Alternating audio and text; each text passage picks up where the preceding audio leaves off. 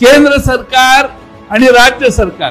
दोन्हीकडे भाजपचं सरकार असलं तर डबल इंजिन आपलं बरं होईल आणि आपलं महाराष्ट्राचं कोट कल्याण होईल असं हे सांगतात. काल अमित शहा पुण्यात आले.